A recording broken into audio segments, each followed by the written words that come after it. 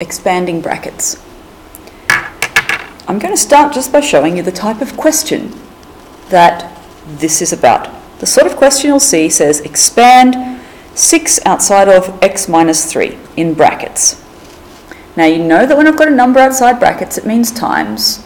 And you know when I've got a sum inside brackets I should be doing that first, but I can't do anything with this. Not like terms, I can't do that.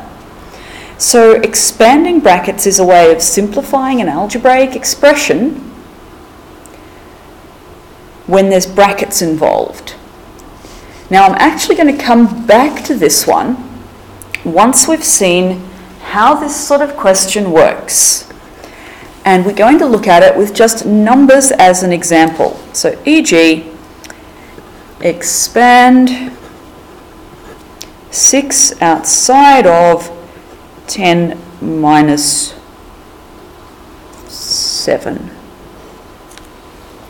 Now you can actually see that's pretty similar to this question. I've got a number outside the brackets and I've got a sum, a subtraction there inside the brackets. Just all I've done is I've made it easy so we've got numbers involved. Now you know order of operations that says we'd do the sum in the brackets first. So let's do it this way. That would be 6 times, and do the sum, 10 minus 7 is 3. 10 take away 7, that's 3, and this 6 outside says I've got to do 6 times this. So 6 times 3 is 18.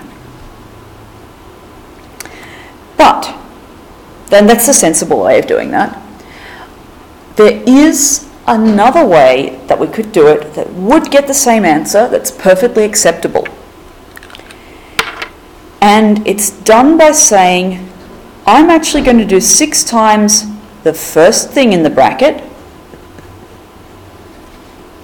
and then I'm going to do 6 times the second thing in the bracket, and I'm going to write plus 6 times negative 7, because that's a negative 7 sitting there.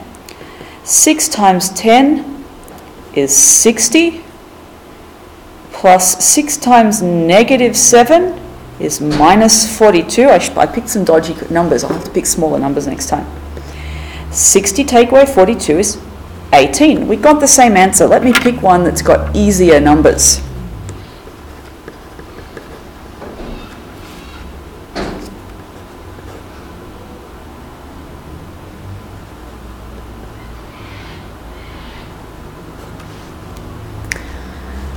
So we're going to do this two different ways. The first way is the sum in the brackets. So 8 plus 3 has to happen first, that's 11. This will be 2 times 11, which will be 22. But the other way that I want to show you also works is I'm going to do 2 times 8, so 2 times the first thing in the brackets, plus 2 times 3, 2 times the second thing in the brackets. 2 times 8 is 16, plus 2 times 3 is 6.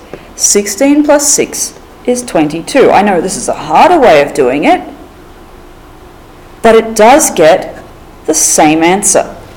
What that shows us is I'm allowed to solve this either way. I am allowed to do the sum first and then just multiply, or I'm allowed to do the thing outside times the first thing in the brackets plus the thing outside times the second thing in the brackets, and I'll still get the same answer. And when I do the term outside, multiplied separately by each of the terms inside the brackets, that's called expanding. The law that says I'm allowed to do that, that says both of these get the same answer, is called the distributive law, but I don't need you to know that. It's useful if you do. So when they say expand 6 outside of x minus 3, I can't do anything with this sum, because these are not like terms. I can't solve that the first way by just doing the sum in the brackets. But I can simplify it by multiplying the thing out the front by the first term and the thing out the front by the second term. it's a good idea to use a little set of arrows to say, I'm going to do 6 times x. And you can go straight to the answer there because 6 times x is 6x. That's the thing outside times the first thing in the brackets. Then I'm going to do 6 times the whole thing there, negative 3. 6 times negative 3 is negative 18, so my simplified expanded answer is 6x minus 18. This is how expanding brackets works. Here's some questions that we might get. Expand these. And the method that I'm going to need you to follow is draw your arrow from the term outside to the first term and multiply those two together. 3 times x is 3x. Draw your arrow from the thing outside the front to the second term and multiply those together. 3 times 2 is 6, and because it's positive 6, we write a plus. 3 outside of x plus 2 equals 3x plus 6 when it's been expanded. Next question. 2 outside of 3m minus 1. Draw your arrow from the term outside the front to the first term in the brackets. 2 times 3m. That is 6m, which we know by learning to multiply algebraic terms. Draw your second arrow. 2 times negative 1 is negative 2, and so my expanded answer is 6m minus 2.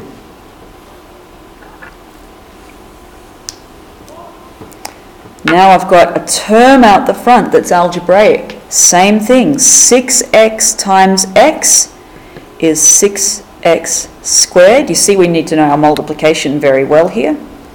6x times y is 6xy and it's positive, so I put a plus.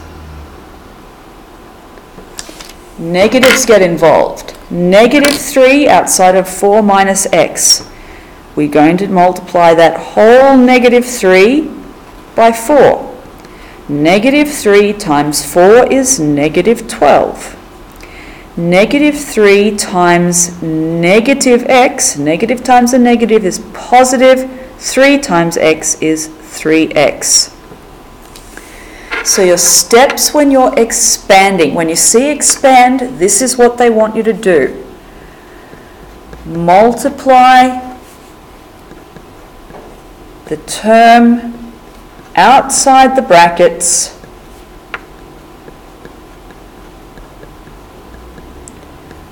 by each term in the brackets.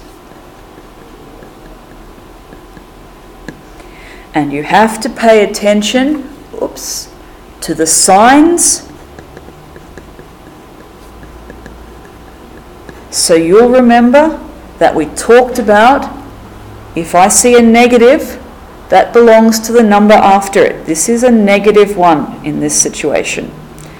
That's why I did 2 times negative 1, which gave me negative 2, and I get 6m minus 2.